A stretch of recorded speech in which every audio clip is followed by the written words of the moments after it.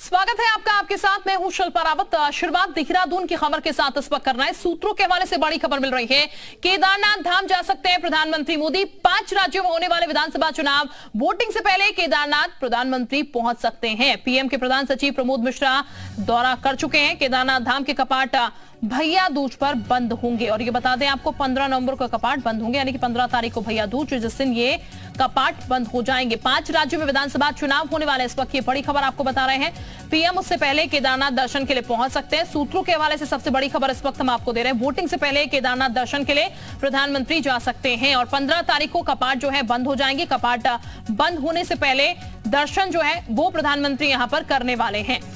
तो अटूट प्रेम है प्रधानमंत्री का पहाड़ों से और पहाड़ के देवी देवताओं से। और इसीलिए जब भी प्रधानमंत्री को मौका मिलता है, प्रधानमंत्री दर्शन के लिए ज़रूर जाते हैं। शिव साधना में वो लीन नज़र आते हैं। हाल फ़िलहाल भी वो उत्तराखंड पहुँचे थे शिव साधना करने के लिए। और एक बार फिर से अब केदारनाथ पहुँचेंगे दर्शन करने के लिए। और ये बता दें आपको, केदारनाथ इलेक्शन से पहले ही वो पहुँच जाएँगे। पंद्रह नवंबर को चूँकि कपाट बंद होंगे तो उससे पहले दर्शन करने के लिए पहुँचेंगे। सुरेंद्र, इस वक्त हमारे साथ ज़्यादा जानकारी के साथ जुड़ चुके हैं। सुरेंद्र, केदारनाथ के दर्शन कर सकते हैं प्रधानमंत्री। क्या जानकारी है इसको लेकर?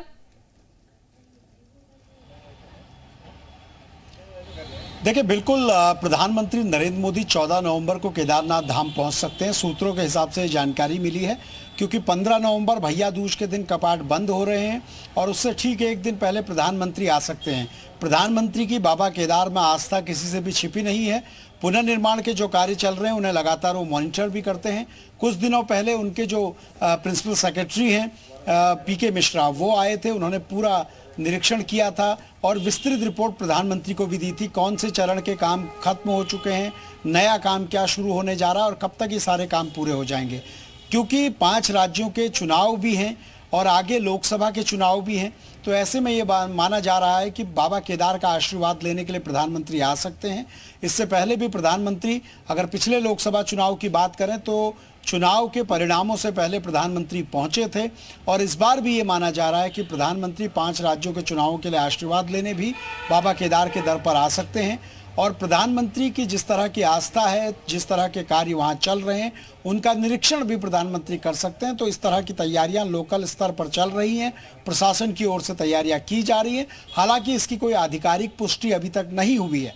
लेकिन अगर ऐसा होता है तो प्रधानमंत्री एक महीने के भीतर उत्तराखंड में दूसरी बार आएँगे। आदि कैलाश के दर्शनों के लिए कुछ दिनों पहले वो आए थे और अब बाबा केदार के दर्शनों के लिए भी प्रधानमंत्री पहुँच सकते हैं। बिल्कुल, बहुत शुक्रिया आपका सुरेन तमाम जानकारी देने के लिए।